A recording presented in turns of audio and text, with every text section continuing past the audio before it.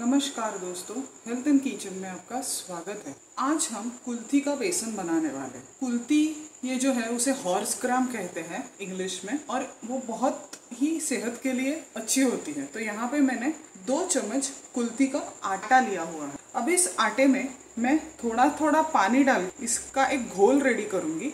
तो यहाँ पे आप देख सकते हो कि इस कुल्ती के आटे का मैंने घोल रेडी कर दिया है। अब इस घोल को हम साइड में रख देंगे और गैस की तरफ़ चलते हैं और इसे तड़का लगा देते हैं। तो यहाँ पे मैंने कढ़ाई को गैस पे रख दिया है। अब मैं इसमें तेल डाल दूँगी। तो यहाँ पे मैंने दो चम्मच तेल डाल दिया है। तेल को हमें अच्छे से गर्म होने देना है।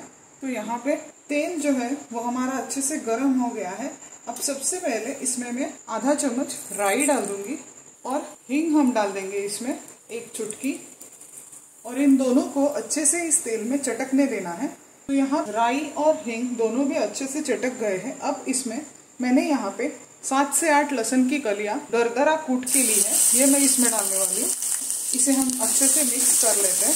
इसी के साथ इसमें मैं आधा चम्मच हल्दी डालने वाली हूँ। हल्दी डालने के बाद हमें एक बार फिर से इसे चलाना है। फिर इसके अंदर यहाँ पे मैंने दो मिर्चियाँ ऐसे लंबाई में काट ली है, इसे मैं इसमें डाल रही हूँ और थोड़ी सी धनिया मैं इसमें, इसके अंदर डालने वाली हूँ। इसे भी हम अच्छे से मिक्स कर लेते हैं। तो यहाँ पे आप देख सकते हो कि लहसन जो है, वो अच्छे से गोल्डन ब्राउन कलर की हो चुकी है। अब यहाँ पे इसमें मैं थोड़ा सा नारियल का बुरादा डालने वाली हूँ। इसे हम अच्छे से मिक्स कर लेते हैं। और यहाँ पे मैंने एक मीडियम साइज़ का प्याज काट के लिया है। ये मैं इसके अंदर डालने वाली हूँ। इन सारी चीज़ों को हम अच्छे से मिक्स कर लेते हैं। तो यहाँ पे प्याज डालने के बाद मैंने फिर से इसे अच्छे से मिक्स कर लिया था। यहाँ पे मैं इसके अंदर थोड़ा सा नमक डालने वाली हूँ ताकि हमारा जो जो प्याज है, वो जल्दी से पक जाए और थोड़ा सॉफ्ट हो जाए। मैंने इसमें नमक ऐड कर दिया है। अब मैं इसे एक बार फिर से मिक्स कर लेती हूँ।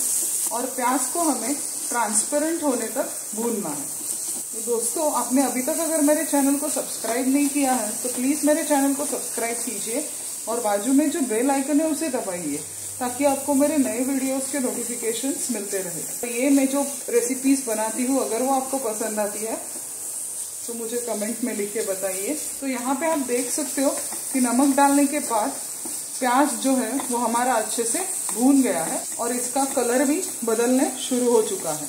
ये ट्रांसपेरेंट होने स्टार्ट हो गया है।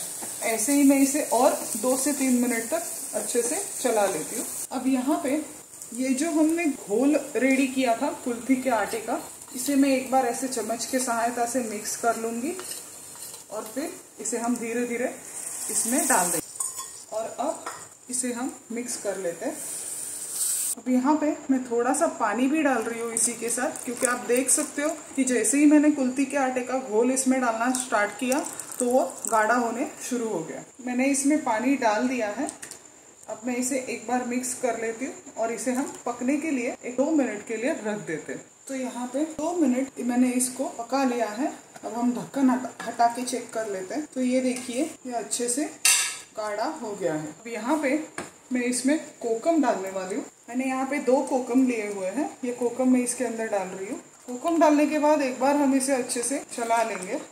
तो ये हो गया हमारा कुल्ती का बेसन रेडी तो अब मैं गैस को बंद कर देती हूँ और इसे हम एक सर्विंग प्लेट में निकाल लेते हैं। तो यहाँ पे मैंने इसे सर्विंग बाउल में निकाल दिया है और ये जो कुल्ती का बेसन है, ये हमारा रेडी हो गया है। और दोस्तों कुल्ती का आटा या कुल्ती के जो दाने होते हैं, वो सेहत के लिए काफ़ी अच्छे होते हैं। मतलब हड्डिया, हड्डियों में अगर दर्द है तो वहाँ पे आप ये ऐसा बेसन बना के या इसका सूप बना के भी आप खा सकते हो। इसके ऊपर मैं थोड़ा सा धनिया डाल रही हूँ, कटा हुआ।